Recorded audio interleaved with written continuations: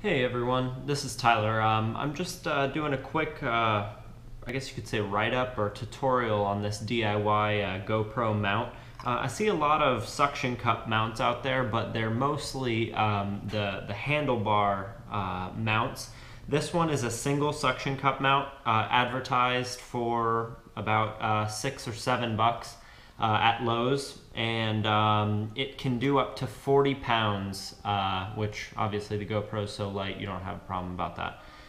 Um, so, well, let's go ahead and get started. I've already done it, um, but I'm just going back through to show everyone how to do it.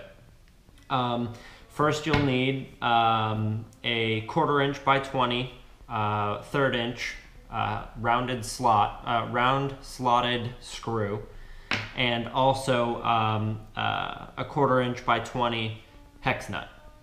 Very cheap, find it at Lowe's, very easy. You'll also need a uh, GoPro tripod mount and um, an 11 mil wrench. Uh, not really necessary, but it helps. Um, and a drill and uh, a drill bit and a drill. So first, you want to start by um, using your uh, 3 16 drill bit. I didn't have one that was exactly 1 4th, so this did best. Um, and then you're going to make a, a hole right through the center. Try to balance it as best as possible.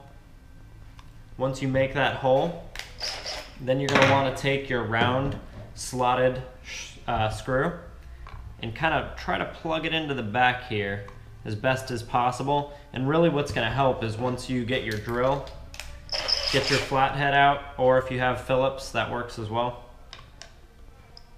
And you just kind of screw it right in there. Once you get it all the way tight in there, it'll look just like that. There on the back. Pretty simple. You'll take your uh, hex nut, tighten that right on there, and then you're going to take your 11 mil and just tighten it as, as best as possible.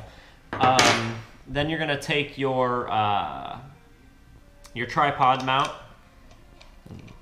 screw that on there, and it won't exactly line up. So the best thing to do to line it up is tighten it as much as you can without uh, turning the whole entire screw. Then take your uh, drill again and just keep going until it gets to the correct area and then you'll have it facing perfectly up. And then you may need to make a couple adjustments because it'll loosen up as you uh, move the drill.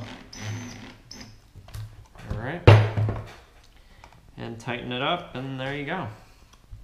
Then you can have um, any of your uh, attachments, extensions that you can add on to get it to where you like it, um, and then just uh, Tighten those down. Just like that. And the GoPro fits right on the top and obviously you can have your different extensions. You can have it point pretty much any direction. Um, it was a super cheap mod. I'd say um, under 10 bucks for sure. Under 10 bucks for sure. Um, if anyone has any questions, just let me know. Thanks. Hey guys, uh, you just saw me make the uh, suction cup mount here. Um, it says that it can do up to 40 pounds. Uh, I don't really have anything that's 40 pounds that I can show you guys, but uh, really quick, I just grabbed a bar stool. Uh, it's got a wooden top, it's kind of smooth. Uh, I just want to show you um, that it can lift it up very easy. Like I said, it's advertised for 40 pounds. The bar stool is probably around 20 pounds, um, but you really just take the suction cup mount and make sure the back bar is down you push it right on the, um, the surface, give it a little bit of pressure, and then pull up that back bar right up to the top and just lift it up. And I mean, it easily holds it. I can hold the bar stool out to the side, swing it around. I mean, I'm, I'm pretty confident with this right here. So um, it'll have no problem holding the GoPro and anywhere crazy that you want to put it. Um, and I mean, this is on wood, so on glass it's going to be 100 times better. So uh, thanks everyone for watching, and uh, that's it.